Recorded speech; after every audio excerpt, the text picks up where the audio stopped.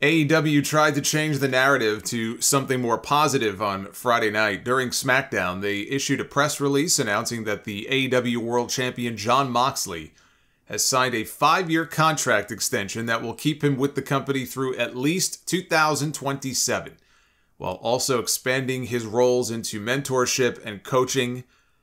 AEW CEO, GM, and head of creative Tony Khan they should have included All Elite Daycare Headmaster in that. Announced that AEW World Champion Jon Moxley has signed a five year contract extension. Moving forward, Moxley will work exclusively for AEW and its international partners, including New Japan Pro Wrestling, where he is a two time IWGP United States champion. And Khan was quoted as saying, Jon is a great world champion for us in his third reign. His wrestling mind is invaluable and our roster is lucky to have the opportunity to utilize him as a mentor and a coach as we continue to build the stars of today and tomorrow. Moxley said, I love AEW in the spirit of both the company and its fans. I cherish our shared passion for the sport of professional wrestling, and I am going to dedicate everything I have in mind, body, and spirit to helping AEW be the best that it can be going forward. Per PW Insider, the deal was actually signed right around the time of the All Out pay per view. And at one point, Moxley's deal actually expired, and he was working on a handshake agreement until they finalized a new deal, but there was never any concern internally that he might be looking to go somewhere else. So that means when he squashed CM Punk, their biggest star, in three minutes on television to win the world title, he was working without a contract, which is wild. Meltzer said they did add more time to his previous contract for the time he missed when he went to rehab, but that would have only extended him out to July. So he was technically a free agent for about five or six weeks until he put pen to paper on the new deal. He also said Moxley signed a five year deal to shut down any rumors about him possibly going back to WWE, and that even though the contract allows for him to work independence, with Tony Khan having to approve those dates first, he will be working fewer of them going forward because he wants to ease up on his schedule. Moxley is the ace of that company. He is a steady hand for them at a time when they really need that. And he is someone who, by all accounts, is a positive influence on that roster. Now more than ever, AEW needs someone like Jon Moxley. And I would argue, you know, this right here is Tony Khan's most important signing. Keeping Jon Moxley for another five years. He has been their most valuable player all year long. Of all the top former WWE names that I could see going back there in the next few years, Moxley was at the bottom of the list.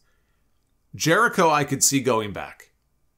Moxley, as someone who values his freedom and the ability to work indies and work New Japan, I don't see any good reason why he would want to leave, even with all the drama that's been going on and, losing his vacation because his coworkers acted like children.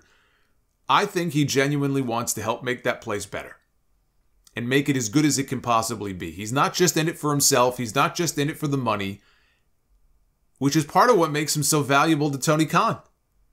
And when the book is closed on Jon Moxley's career, he spent eight years with WWE, going back to his time in developmental.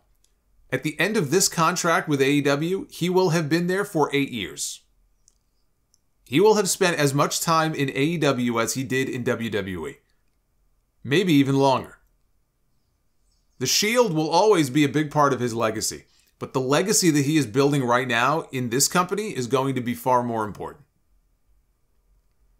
And his wife may be joining him soon in AEW as well. Fightful reports that sources in WWE believe that Renee Paquette will soon be working for AEW.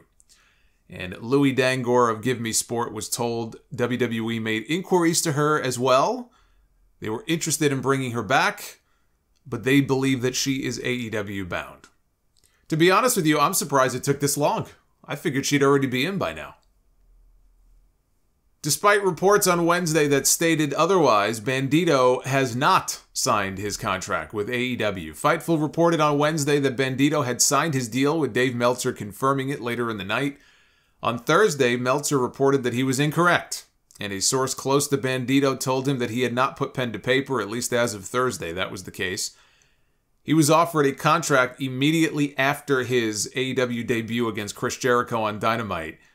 In an interview with Mas Lucha, Bandito said that he is still in talks with AEW. He confirmed, though, that he did receive an offer from WWE.